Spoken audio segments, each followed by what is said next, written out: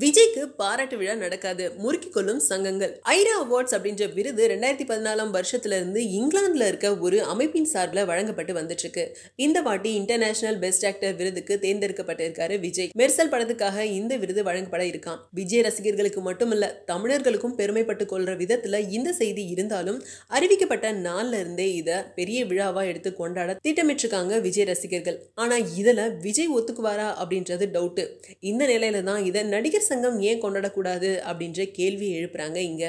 ஆனா அதுக்கு வாய்ப்பே இல்லை அப்படின்னு உறுதியா மறுக்கிறாங்க கோடம்பாக்கம் புள்ளிகள் சிலர். ஏன்? விஷால் நடிகர் சங்கத்தோட செயலாளர் பொறுப்புக்கு வந்த நாள்ல இருந்தே சங்கத்தோட உள் விவகாரங்களில் மட்டுமல்ல வெளி விவகாரங்கள்லயும் அக்கறை செலுத்துறதில்ல விஜய். பொதுக்குழு உள்ளிட்ட முக்கியமான கூட்டங்களுக்கு கூட வரல. இதுக்கு முன்னாடி சரத்குமார் ராதாரவி ரெண்டு பேரும் பதவியில் இருந்தப்போ விஜயோட சம்பளம் விநியோகஸ்தர்களுக்கு தர வேண்டிய நஷ்டம் இது போன்ற விஷயங்கள்ல ரொம்பவும் அக்கறையோட தலையிட்டு முடிச்சு வச்சாங்க அவங்க. அதனால விஜய்க்கும் சங்கத்து மேல ஒரு நம்பிக்கையும் அக்கறையும் இருந்துச்சு. ஆனா இப்போ பஞ்சாயத்துகள் எதுலையும் சிக்கிறதில்ல அவரு. சிக்கினாலும் சொந்த செல்வாக்குல அதை தீர்த்துக்கிற அளவுக்கு பலம் பொருந்தியவரா மாறி இருக்காரு அப்படி இருக்க அவர் ஏன் கலந்துக்கணும்?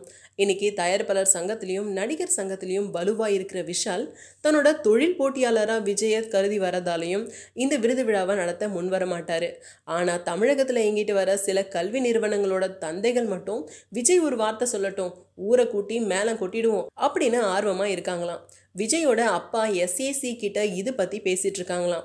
இவங்க தவிர முன்னணி சேனல்காரர்களும் சிலர் இதை பெரிய விழாவாக எடுத்து கொண்டாடணும் அப்படின்னு துடிக்கிறாங்களாம். ஏன்னா டிஆர்பி ரொக்கம் அப்படின்னு மனசு அலைப்பாயும் சலசலப்புக்கு ஆசைப்பட்டு சந்தோஷத்தை இழக்கிறவர் இல்லை விஜய். அதனால எல்லாரும் கொஞ்ச நேரம் சும்மா இருங்கப்பா.